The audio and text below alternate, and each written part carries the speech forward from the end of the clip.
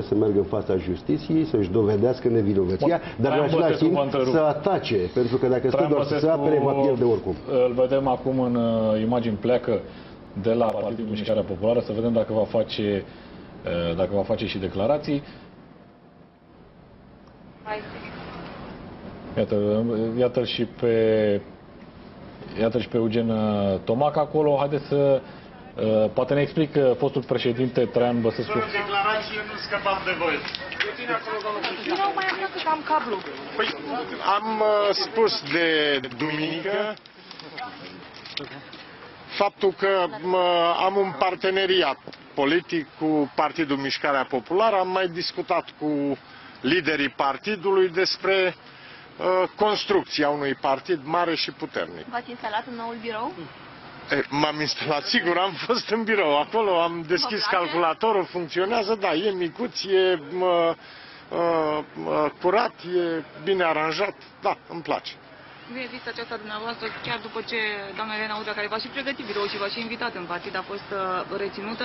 Spuneați că sperați să vă arate că este cinstită în justiție. Credeți că are șansa să facă acest lucru și mi se pare că e justiția corectă acum? Eu sunt, justiția este corectă. Și nu eu voi discuta justiția, care am susținut-o uh, în independența ei și în a face ce trebuie pentru a consolida statul de drept.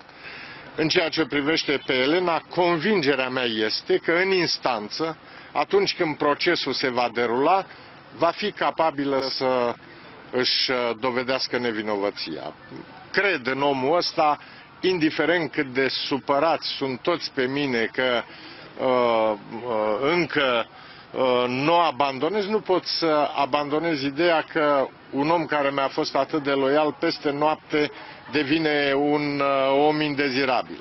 A fost partenerul meu politic, singurul care a mai rămas, sau printre foarte puțini care au mai rămas din foștii lideri ai PDL-ului și așa cum eu o știu, se va bate să-și dovedească nevinovăția. Deci nu regrettați Vă că mulțumesc ați mult. Atâta timp până acum. Nu, există un motiv de regret. nu. Mă, singurul moment în care aș putea să-mi schimb poziția ar fi dacă judecătorii, când se va termina procesul, vor spune altfel. Care credeți că va fi de Vă mulțumesc. de astăzi de la înalta curte? A, nu știu, nu să...